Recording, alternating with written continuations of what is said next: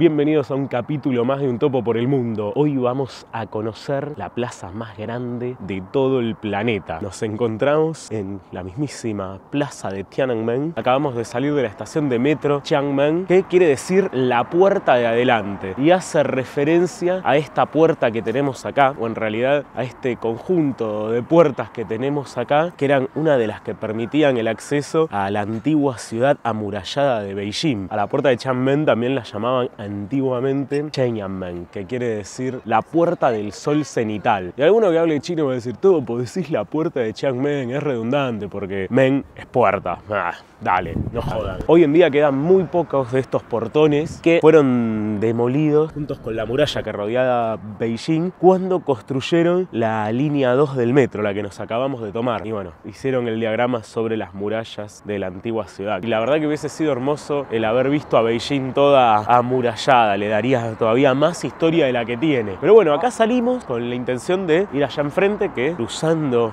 la puerta de Chiangmen tenemos nada más ni nada menos que la famosa plaza de Tiananmen, que a diferencia de otros años tenés que tener una reserva previa que haces con una aplicación de WeChat, la reserva gratuita, pero tenés que poner el día y la franja horaria en la que vas con todos tus datos, etc. Hay tres maneras de acceder a la plaza. Una es desde acá, y me acabo de fijar y la fila está tremenda. Otra es desde la que está del otro lado que se llama Tiananmen Tong, Tiananmen Este, que también la veo muy llena. Y voy a probar a la estación Tiananmen Shi, que es Tiananmen del Oeste, que siempre que vine acá, esa es la que menos gente tiene. No sé por qué, como secreta para los que conocemos bien la ciudad de Beijing. Ahora lo estoy compartiendo con ustedes, así que se va a arruinar ese secreto. Pero mientras, antes de ingresar, voy a mostrarle un poco de los alrededores de la plaza y después nos vamos para allá. Enfrente a la plaza de Tiananmen nos vamos a encontrar con este edificio acá que hoy funciona como museo del ferrocarril, pero que fue la primera estación de trenes de Beijing. Y pueden observar que tiene una arquitectura bastante parecida a las estaciones rusas. Y así fue. La empezaron a construir en 1903, se inauguró en 1906 y acá era donde finalizaba el recorrido de los trenes transmanchurianos y transmongolianos que conectaban a Moscú con Pekín, en un caso atravesando la zona de Manchuria y en el otro atravesando atravesando la zona de Mongolia. Esta estación la inauguraron en los últimos años de la dinastía Qin y estaría buenísimo poder visitar el museo, pero no sé por qué estoy en día y horario correcto y las puertas están completamente cerradas.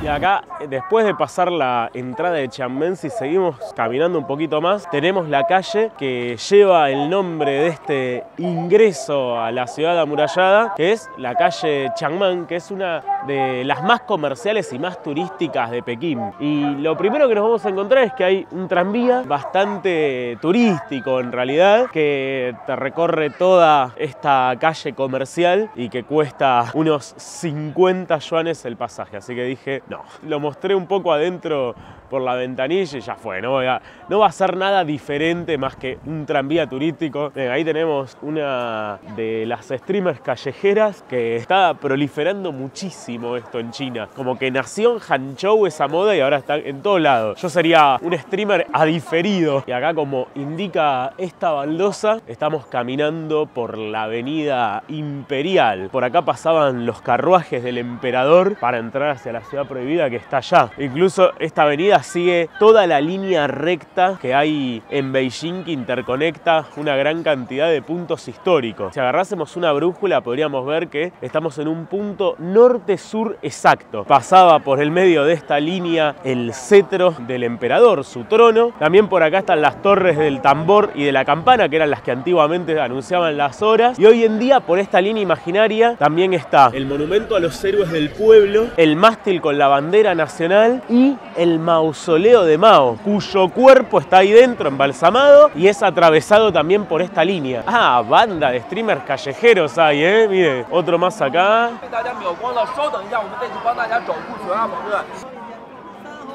Ah, viene con dos conductores, te hacen el programa en vivo en la calle. Este es el futuro, ¿eh? Se ve ahora en China, lo vi también en Estados Unidos, en Nueva York, pero creo que de acá a dos años, y creo que estoy diciendo mucho, las calles de todos los países van a estar inundadas de streamers callejeros. Y bueno, de alguna manera hay que buscarse la vida, es como crear contenido en YouTube. Mira, acá hay otro, paf, otro A ver cuánto lo estarán viendo, ponele. Ahí llegué a ver 45 personas en vivo. Ah, no está mal. Podría alargar y hacer un vivo acá, ¿eh? Pasa que es medio madrugada en toda Latinoamérica, que la mayoría del público que me ve, así que no, a ver, casi nadie. Te desvías un poquito de la calle Chiangmeng, que es la principal, y sigue toda esta movida comercial, es impresionante. Vas a ver gente, gente, gente, comercio, comercio, comercio, compran, compran, compran. Acá ya nos desviamos un poquito y nos metimos medio en un jutón que hay por esta zona. Ya acá empieza a ser poquito menos comercial y ya más residencial. Como que tenés una zona recontra comercial, haces tres cuadras y es una zona residencial de jutones, de las viviendas típicas pequinesas. Tenés miles de personas caminando a tres cuadras acá y en esta casa ya la ropa colgada en la puerta, por ejemplo. Ahí los pasillos para meterse, los tuk-tuks, toda otra realidad. Mira, hasta la bombacha colgando tienen ahí. Venís caminando por los jutones y de repente te encontrás con esta majestuosidad que es ni más ni menos que el Teatro Nacional. Lo hicieron en el 2007 en el contexto de preparación para las Olimpiadas de Beijing 2008. tiene toda esa construcción que es una cúpula gigante que mide 50 metros de alto. Y adentro no es que hay un solo teatro, sino que es un complejo de salas. Una vez que estaba acá vino Plácido Domingo, pero la entrada estaba muy salada, algo así como, si mal no recuerdo, 100 dólares la más económica. Que los hubiese pagado sí, pero en ese momento cuando llegué como estudiante estaba muy, muy seco de plata. Bueno, ahora también, no, no ha cambiado mucho la situación. Por el hecho de que hay un evento del partido, en la Asamblea Nacional del Pueblo, hay mucha seguridad y no nos dejan pasar por la puerta del Teatro Nacional que la entrada es maravillosa porque tiene como un lago artificial y lo cruzás subterráneamente, pasás por debajo del lago. Pero bueno, les pongo imágenes de fondo para que vean cómo es, que estuve varias veces ahí, le saqué lindas imágenes. Y di una vuelta gigante, me tuve que atravesar medio Pekín más o menos, fácil, unas 25 cuadras, pero no hice nada de fila, no había nadie para entrar. Creo que tardé menos caminando todo eso, que paso recorrí, les mostré y eso. Por ahí se hacía esas otras filas, quizás me hubiese comido dos o tres horas ahí parado me encanta porque esa persona anda ahí juntando todos los residuos. Se ve un papelito, lo que sea en la vereda, lo junta. Nos encontramos en las puertas del cielo, en Tiananmen. Acá era donde comenzaba el ingreso al Palacio Imperial, a lo que se conoce como la Ciudad Prohibida. Enfrente tenemos la Tiananmen Honchan, que es la plaza de Tiananmen, la plaza de las puertas del cielo, y desde acá era donde aparecía antiguamente el emperador chino y proclamaba sus discursos, y a la vez en esas tribunas que están en los laterales se encontraban generalmente los mandarines, y ahí enfrente no es que estaba el pueblo, sino que los que venían eran en líneas generales nobles de la ciudad. Y obviamente que este lugar tiene muchísima historia para la República Popular China, porque acá mismo, en 1949, exactamente exactamente el primero de octubre, desde allá arriba, Mao Zedong proclamó la revolución comunista y conformaron la República Popular China. Ahí está en el centro el cuadro con el rostro de Mao Zedong y en sus costados tiene dos leyendas. La de la izquierda de Mao, viéndola desde acá, dice Chonghua Renmin He Kuo Wansui, que quiere decir literalmente 10.000 años al pueblo de la República Popular China. El Wansui esos 10.000 años, en realidad es como decir larga vida. Y a la derecha del cuadro de Mao dice Xi Renmin Yuan Jiang Wan Sui, que también utiliza el concepto de Wan Sui, pero en este caso dice larga vida para los pueblos del mundo. Esa unión entre el pueblo de la República Popular China y la unión con nosotros que somos parte de los pueblos del mundo. Acá en esta puerta nos vamos a encontrar con cuatro tótems que en la cima tienen un dragón y estaban hechos desde las épocas imperiales para atraer el rocío y que puedan haber en consecuencia de ello buenas cosechas. Y vamos a tratar de cruzar para la plaza de Tiananmen y ustedes se preguntarán cómo se hace. Tenés que hacerlo a través de un túnel. Así vamos a cruzar lo que es esta avenida que atraviesa la ciudad, que es la avenida Chang'an, la avenida de la Larga Paz. Lleva el nombre de la antigua capital china hasta el año 960, la que se conoce actualmente como la ciudad de Xi'an. Amo a esta persona que junta las cosas del piso, realmente. Tienen el mejor sistema del mundo. Tirás un papelito en la vereda y va a venir alguien y lo junta y por eso está reluciente todo. ahora sí, nos encontramos en la plaza más grande del mundo. Tiene unos 400.000 metros cuadrados. Para que tengan una idea, son aproximadamente casi 5 cuadras de anchos y casi unas 8 cuadras de largo desde la avenida Chang'an hasta la puerta de Chiangmai, que está allá. Para que tengan una idea, esta plaza es 22 veces más grande que la Plaza de Mayo en la Argentina. Y llegan a entrar más de un millón de personas acá. Cuando hacen actos multitudinarios es una locura. son casi 1.500 millones de ciudadanos chinos, ¿no? Entonces tienen que tener espacios masivos para tanta población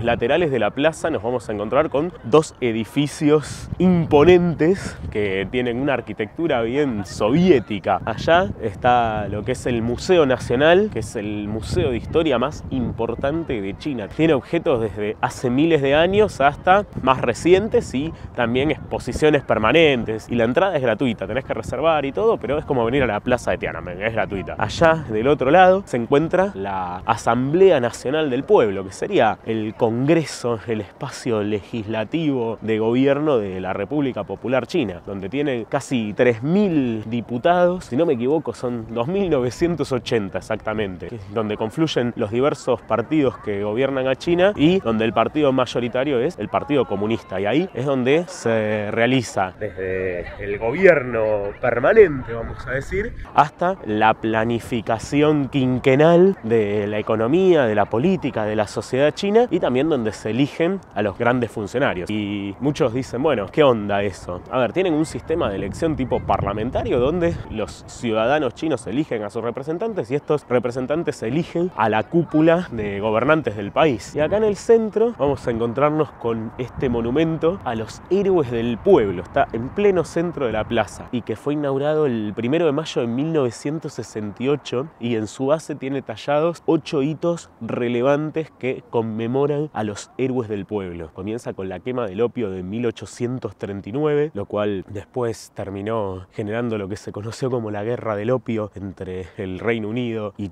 el Imperio Chino y termina atravesando diferentes hitos como por ejemplo aquel movimiento del 4 de mayo de 1919 que justamente se reunieron acá en la plaza de Tiananmen para protestar contra el nuevo gobierno del Kuomintang que no daba buenas condiciones de vida para su pueblo los manifestantes terminaron dos años más tarde conformando el Partido Comunista de China en Shanghai. El lugar más emblemático de toda esta plaza es el mausoleo al mismísimo Mao Zedong, que su cuerpo se encuentra embalsamado y expuesto ahí dentro. En este momento yo vine a la tarde y se puede visitar el mausoleo por la mañana y se pueden ver largas filas de personas que vienen a rendirle tributo. El tema es que cuando ingresás no podés fotografiar, no podés filmar, nada, y un segundo nomás y ves ahí el cuerpo del mismísimo Mao Zedong. Impresionante, es como en Moscú verlo a Lenin. Acá estamos del otro lado del mausoleo de Mao Zedong. Por acá es donde salís cuando venís a ver su cuerpo. Tiene en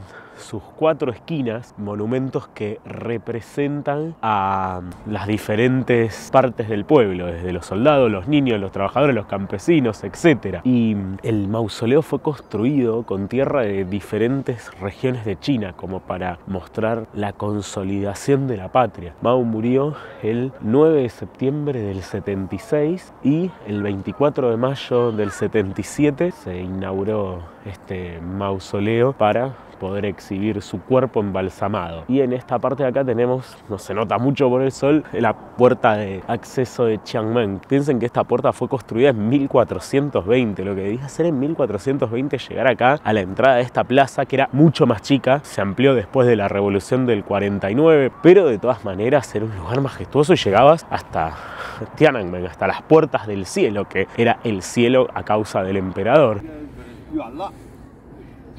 你好，你好，我会说中文啊。啊，我你您会说中文？对，你是王后吗？哈哈，不对。是家里人视频，啊，家里人视频，网民，网网民，家里人视频。你是你们是北京人吗？我们是东北人，东北啊？对，什么这么呃城市？呃，哈尔滨。啊，我住过哈尔滨，去过哈尔滨。对，上次我住过啊，是吗？很漂亮。哦，，对，冷？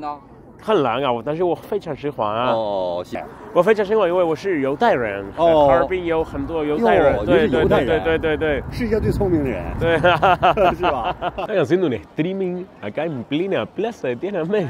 祝福祖国万 Qué 岁！grande. Yo, muchos dicen, che, loco, ¿qué onda? No hay libertad acá de decir lo que uno quiere. Boludo, un chabón haciendo streaming ahora. Yo estoy grabando en este momento y nadie me dice nada. Estoy con una camarita, todo, y no es que viene alguien y dice, che, no puedes grabar acá. Yo estoy diciendo lo que quiera y no pasa absolutamente nada. Y nos encontramos sentados acá en plena plaza, como algunas personas que me acompañan a mi lado. Y ustedes se preguntarán, ¿para qué? Bueno, para descansar un poco, porque falta una horita para que hagan la ceremonia acá enfrente de bajar la bandera, que coincide con la puesta del sol. Y mañana temprano, cuando es el alba, hacen el izado de la bandera. Y ustedes me preguntarán, Topo, ¿por qué no viniste al izado? Sí, no me veo 7 de la mañana estar acá, me debo levantar a las 6 como mínimo. No, vamos a mostrar cuando la bajan, que es la misma ceremonia, pero al revés. De última, le pongo reproducir en reversa y ya está. Y es una ceremonia muy linda, a mí me gusta personalmente mucho. Es como los granaderos en la Plaza de Mayo en Argentina. Tiene como esa similitud. Tenemos que podamos filmar de acá cerca, yo creo que sí. Estoy como en la primera fila, pero todavía falta bastante para que se ponga el sol, más de una hora. Ustedes se preguntarán qué simboliza esta bandera, ya que estamos acá esperando. El color rojo simboliza la lucha del pueblo, la sangre del pueblo, además de ser un color muy agradable para los chinos. Por ejemplo, cuando es el año nuevo, te regalan dinero en sobres rojos, las prendas que utilizan en épocas festivas son de color rojo, muchas mujeres se casan con vestidos de color rojo y tienen cinco estrellas de color amarillo, que antiguamente era el color de uso exclusivo del emperador chino y que hoy en día estando en la bandera rompe con esa idiosincrasia de que solamente el emperador puede utilizar un color, sino que puede ser utilizado por todo el pueblo chino. Las cuatro estrellas chicas simbolizan a las cuatro clases sociales de China. La burguesía, la pequeña burguesía, la clase obrera y el campesinado. Y la estrella grande es nada más ni nada menos que el Partido Comunista Chino, que lo que hace es centralizar a estas cuatro clases sociales y organizar y representar a los intereses del pueblo. Estábamos esperando ahí al lado de la bandera y nos dijeron no, tienen que esperar ahí porque aparte se va a cerrar para la ceremonia. Iluso, yo también había un montón de gente esperando acá y yo también iba a creer que iba a estar tan cerca. No, a pesar de estar amuchado, comenzó a pintar el fresquete. Una hora acá parado sin moverme y ya estamos próximos a que inicie la ceremonia. Y tenemos vista privilegiada, podríamos decir acá. Miren, todo alrededor lleno de gente.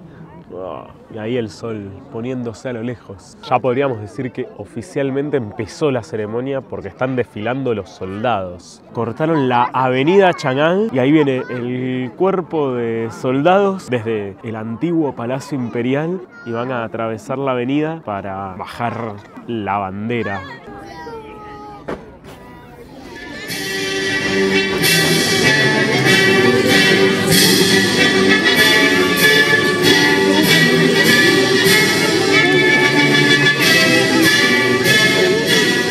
Una ceremonia impresionante. Lo que más me sorprendió de todo es que durante 10 minutos cortan el tránsito en una de las avenidas principales de Beijing. No importa el día que sea, día de semana, fin de semana, feriado, etc. Y la misma ceremonia pero inversa es al amanecer cuando izan la bandera. Y hay bastante gente, piensen que es un día común de semana y ahora estamos desalojando la plaza porque cierra por la noche. Realmente me encantó poder hacer un video acá. Por acá pasa todo. Estuvieron todos los líderes internacionales que visitaron China, desde Trump hasta Macri, hasta Fidel Castro y hasta incluso Kim Jong-un, el presidente norcoreano. En este hermoso atardecer pequinés, desde la mítica, hermosa y gigantesca plaza de Tiananmen, me voy a despedir de este capítulo de Un Topo por el Mundo. Espero que les haya gustado y nos vemos la próxima. Zaijian.